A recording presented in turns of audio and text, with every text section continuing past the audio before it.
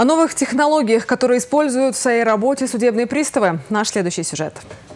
Очередной рейд по взысканию задолженностей в пользу организации жилищно-коммунального комплекса состоялся в Мариинском посаде и селе Шоршило. Представители закона проверили более 100 адресов должников, взыскали денежные средства и наложили 8 арестов на имущество. Приложение «Мобильный розыск» помогло найти автомобиль «Газель», у владельца которого накопилось немало долгов.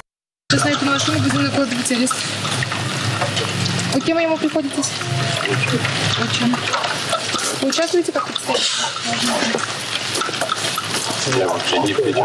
В отношении хозяина «Газели» возбуждено 11 исполнительных производств о взыскании административных штрафов. Результативность подобных рейдов высока, как показывает практика. После их проведения разговоры об арестах имущества еще долго не умолкают и дают пищу для размышления другим недобросовестным гражданам.